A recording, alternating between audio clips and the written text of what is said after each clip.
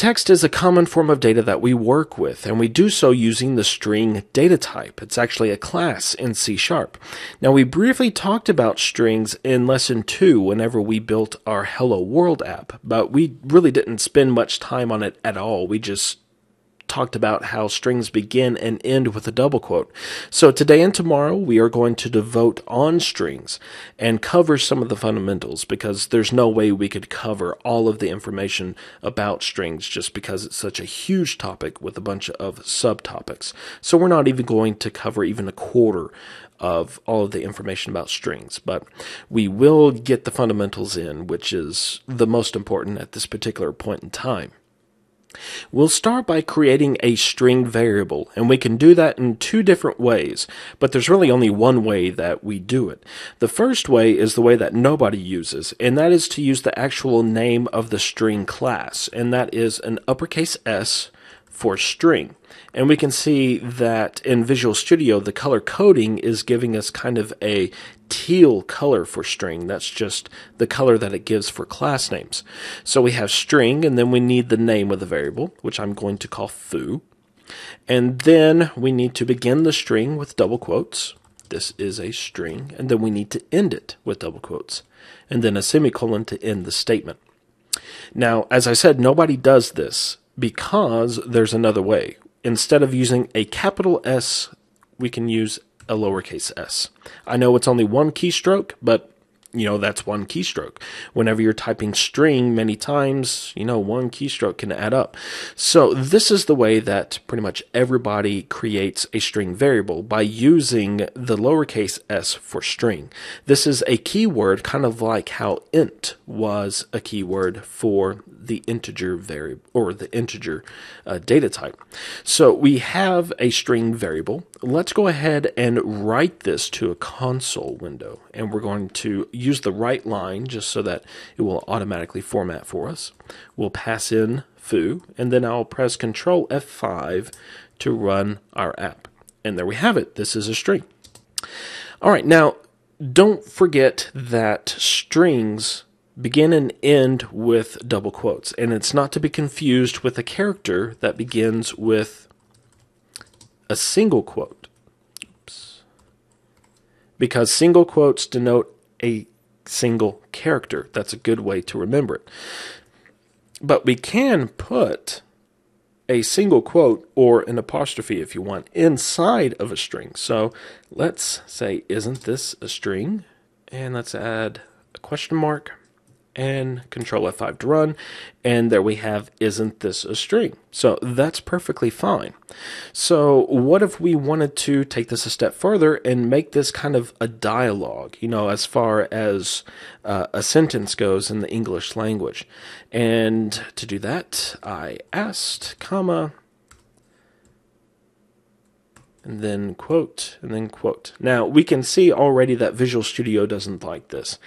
And if Visual Studio doesn't like this, it's a pretty good indication that the compiler isn't going to like it as well. But I'm going to go ahead and try to compile this and run it by pressing Control F5 and we're going to see that this causes a build error. And all this window asks is, well, there are errors with this build. Do you want to run the last, um, the last build that was successful? You know, very rarely do you ever want to do that, so I'm going to click no. And then we get a list of errors. Now, we have some here that are a little bit misleading. I mean, the, these are actual errors that that Visual Studio is finding, but they can be alleviated very simply. But before we do that, let's look at this first error because it's a little cryptic at first glance. It says that we have too many characters in a character literal. Well, we're not using character literals, are we? We're trying to create a string. Well, let's look at our string. We have a double quote to begin our string, then we have some text, and then we have another double quote. You know, the double quote for our dialogue sentence is causing a problem with our code because a string begins and ends with a double quote. Well, what can we do to get a double quote within our string? Because, you know, it's perfectly valid to have a double quote within a string? Well, we use something called escape sequences. It's a sequence of characters that basically tells Visual Studio and the C Sharp compiler to, hey, treat this quotation mark differently than normal. Because normally, a quotation mark begins and ends a string. So we want to escape that type of functionality. Escape sequences begin with a backslash and they're usually followed by a single character. In the case of double quotes, the escape sequence is backslash double quote.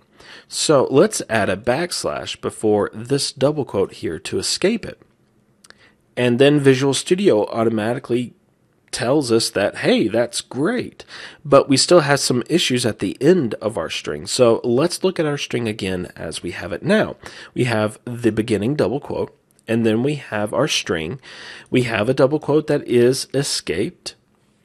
But then close to the end, we have a double quote. Well, we have two double quotes, but Visual Studio is seeing that first double quote as the end of our string but that's supposed to be part of the string, not the end of it. So let's escape that as well. And then Visual Studio likes that. So let's run it. And we will see our string as it is supposed to be written in the console window. And that is perfect. Some of the other notable escape sequences are backslash T. This will generate a tab in between I and ast. So we'll see that. There we go. Uh, backslash n creates a new line. So even though this is all the same string, that backslash n creates a new line. So we have I, and then on a new line, ast, isn't this a string? And then if we want a backslash within our string, the escape sequence is backslash backslash. And there we go. Now, I have a pet peeve about escape sequences. They serve a purpose, absolutely, but I don't like them. Especially if I'm outputting text that is supposed to have a lot of specifically double quotes, but really any type of, of escaped character. I just don't want to escape those characters a lot. So C sharp has something called a verbatim string, and it's basically the same thing except we prepend the string with an at symbol. And this is going to say that this is a verbatim string. Pretty much whatever is in this string is what I want displayed. And we can see that just by adding that at sign, Visual Studio doesn't like this now because it's seeing all of our escape sequences and it's starting to have a hissy fit. But we still need to do some things here. And, you know, it's not a perfect solution, but to me, it's just a little bit more readable. Instead of escaping the double quotes with a backslash double quote, we just use a double quote, double quote. Now, the only time that this gets a little hairy is kind of at the end, whenever we have a double quote, double quote, double quote. but to me, this is just a little bit easier because even if we add in a backslash, that's not considered an escape sequence. So let's add this in between I and ast, and we don't have to escape it because this is a verbatim string. So if we hit Control F5, then we see I backslash ast, and then we have the double quote still within our string. So this is another way that we can uh, not really escape characters or special characters within our string, but some way that we can say that we want this string to appear as is anytime that we use it.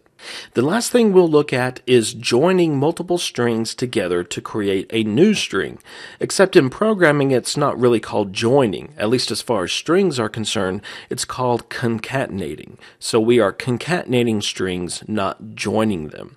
Now, concatenation requires an operation, and that means that we have a concatenation operator. But it's really easy to remember because we have seen it before, just in a different context. So first, let's create two strings. This is a, that's our first string, and then our second string will just be the word string. Now, in order to concatenate these two strings together, we use a plus sign. That is our concatenation operator. And that makes sense because in arithmetic, the plus sign is an addition operator. We take one number and we add another number to it. Well, with strings, we take one string and then we add another string to it. So we are we take these two strings and then assign it to the foo variable. So foo is going to contain the string. This is a string. Now notice that there is no uh, space after a within our first string and before S in the second string. This is important because concatenation does not do any type of formatting for us. It simply takes the two strings and puts them together. So whenever we do our concatenation, we need to make sure our strings are formatted how we want them. So we'll add a space after A. We could put it before S, but I don't like to begin a string with a space. That's just my personal preference. And we're not limited to concatenating two strings. Now, ultimately, that's what happens because there's one operation that concatenates strings. And then if we have another string in this expression, then it takes that new string that was created from the first concatenation operation, and then it concatenates that with that third string. So let's add a third string, and it just has a single character. Now, that's fine. Even though it's just one character, we can have a string of one character. We can have a string of no characters. And did Zune just pop up? I'm sorry. Um, so this is actually what's called an empty string, at least this third string here, where there's nothing inside of a string that's called an empty string. But there's another way to specify an empty string, and this is the, the way that I do it. I use string dot empty. And this is a lot more explicit, at least as far as code is concerned. Even though it's the same, this, at least whenever I'm reading it, I know without a doubt that that is supposed to be an empty string. If I look at, you know, the pair of double quotes with nothing inside of it, I have to wonder, did I intend that to be empty or was that supposed to have something else? So I use the string.empty because it's absolutely explicit as to what it's supposed to be. So as long as there's a character or no characters, but just double quotes, that is a string. It doesn't matter how many characters are there. So we have this is a string and then exclamation point. And if we run that, then we will see that output as well. But we're not just limited to strings here. We can put other types of values. And the .NET framework is going to convert it to a string so that we can concatenate it with the existing string. So, for example, let's use the number 7. So we will have this is a string 7. And let's add a space after string so that string and 7 don't run together. We'll run that, and then there we see this is a string 7. And the same is true for characters. Let's add an exclamation point character. Notice I'm using the single quotes, so that is a character. If we run it, then it converted that character to a string. Uh, one last demonstration. Let's use true. True is a Boolean value, but it too can be converted to a string, and it does so. This is a string, true. So the .NET framework will see that we have a string, and then we have a plus sign. And since we can't really do anything else with a string except concatenate, it will take whatever value is there if it's not a string, convert it to a string, and then perform that concatenation. Now, when I said that concatenation was the last thing we are going to talk about today, I lied, and I apologize because something just occurred to me, and I should have covered it in lesson two, but I failed to do so, so I'm going to now while it's on my mind we need to talk about white space because, as far as us as humans are concerned, it's very important because it really determines how readable our code is. The compiler really couldn't care about white space. Well, there are some places where it, it definitely does care, like between string and foo. If we don't have a space between those two, then, you know, it's not going to know what string foo is. But with that space there, then the compiler knows, hey, we have a string variable called foo. But if we add multiple spaces between string and foo, this is going to work. This is perfectly valid code because it's going to take all of those spaces and cut it down to one space. Now, as far as we are concerned, from the human aspect, this makes our code a little less easier to read because we have string, then it looks like foo is on the same line. But you know, we really don't know that until we put the two together, or we we we do some type of check, like is that right there? Yes, it is. Okay, so you know, we need to make sure that the white space makes sense from a readable standpoint. And that's really easy to do because there's formatting automatically built into Visual Studio. So let's go ahead and add some spaces here. Uh, we can get rid of spaces in between, you know, our variable name and operators. In fact, we could get rid of all the spaces between all of these operands and operators. I won't do so because whenever we add a semicolon at the end of the statement, it's going to format this line for us. There we go. The same is true. Let's undo that. Whenever we finish a code block, and a code block is in between the opening curly brace and the closing curly brace. I'm going to get rid of the closing curly brace and re-add it and it's going to format all of the code there. So Visual Studio does a pretty good job of formatting code for us just so that it's a little bit readable.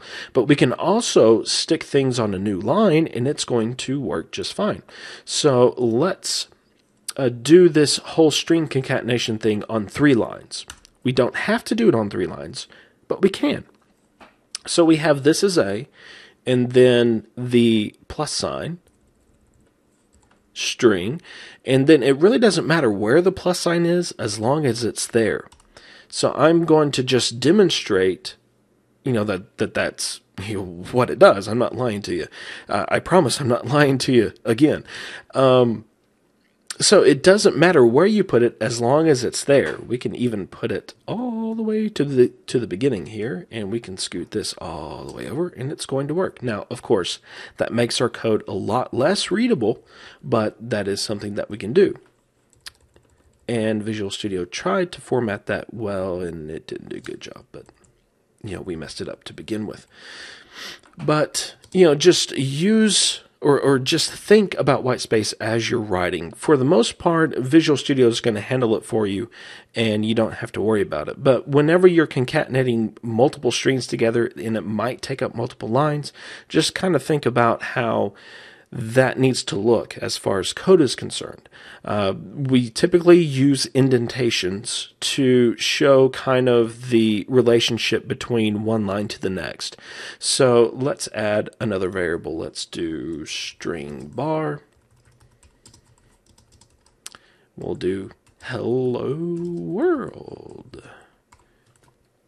Now, the string foo and the string bar, they are perfectly lined up.